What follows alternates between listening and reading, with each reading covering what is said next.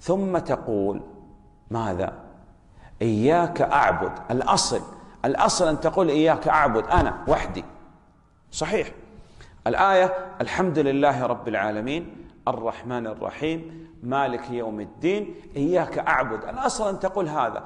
لماذا كانت الآية إياك نعبد؟ لماذا؟ حتى تعلم أن من الأمور التي جاء به النبي صلى الله عليه وسلم الاجتماع. كأنك تقول نجتمع يا رب على عبادتك ولا نتفرق. نجتمع على ما اجتمع عليه النبي صلى الله عليه وسلم والصحابة رضوان الله عليهم. عندما يقرأ الإمام يصلي يقول إياك نعبد. صادق.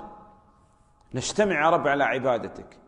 إذا لابد من الاجتماع للافتراق. إذا هذه السورة فيها وجوب اجتماع اجتماع الأمة على ما اجتمع عليه النبي صلى الله عليه وسلم والصحابة. ولهذا حذر النبي صلى الله عليه وسلم من افتراق الأمة إلى 73 فرقة. قالوا من هي يا رسول الله؟ الفرقة الناجية؟ قال الجماعة. الدليل إياك نعبد. نجتمع يا رب على عبادتك. نجتمع على رب واحد سبحانه وتعالى.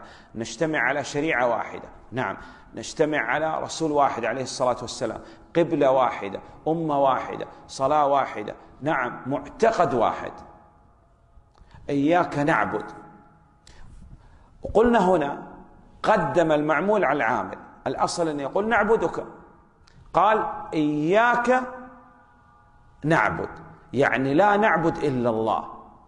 إذا من صرف شيئا من العبادة لغير الله مشرك شركا أكبر. نعم. كل من صرف شيئا من العبادة لغير الله فهو مشرك كافر. والدليل إياك نعبد. تقديمه من حق التأخير يدل على الحصر. لا يمكن أن تصرف أن يصرف شيء من العبادة لغير الله.